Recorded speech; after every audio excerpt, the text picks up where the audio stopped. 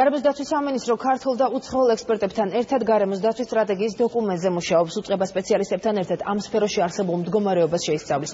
დოკუმენტში გათვალისწინებული იქნება ევროკავშირთან ასოცირების ხელშეკრულების დოკუმენტის პირობებიც.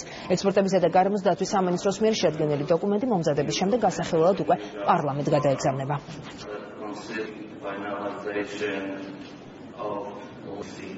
ეკონომიკური კომისიის 16 ექსპერტი რომლებიც ჩვენთან ერთად ჩვენ სამინისტროსთან ერთად დაიწყებენ საქართველოსი გარემოს დაცვითი საქმიანობის ეფექტიანობის მიმოხილვის მესამე დოკუმენტის შემუშავებას სხვა უწყებებთან ერთად ჩვენი სამინისტრო გაუწევს კოორდინაციას შემდეგ ამ დოკუმენტს ეს დოკუმენტი გადაეცემა პარლამენტის შესაბამის კომიტეტს და სამკითხებლად. ეს არის ძალიან მნიშვნელოვანი დოკუმენტი რომელიც განსაზღვრავს ჩვენს ქვეყანაში გარემოს დაცვითი პოლიტიკის ძირითად მიმართულებებს